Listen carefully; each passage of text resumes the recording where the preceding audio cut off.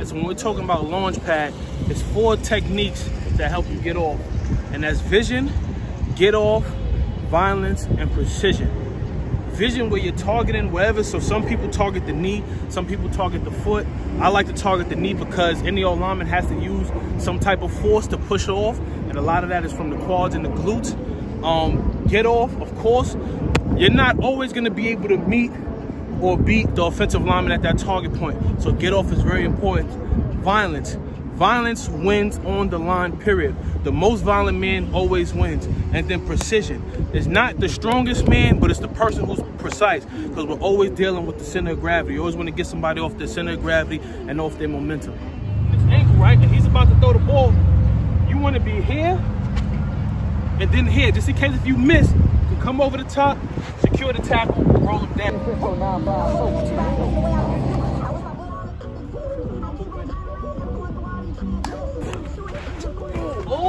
All right, so this is when it gets tricky. So now we're gonna talk about working from the weak side, AKA the side where the quarterback can see you. So you're still working on the back front side of the shoulder when it talks about caging the quarterback to keep contained. But now that the quarterback can see you visually, he might try to make a move depending on where the other guys are rushing at and where they're bringing the pressure from. So right now you're gonna see me move a little bit, but if Arthur focus on the show that he needs to, he'll still be able to get the ball out or at least secure the tackle.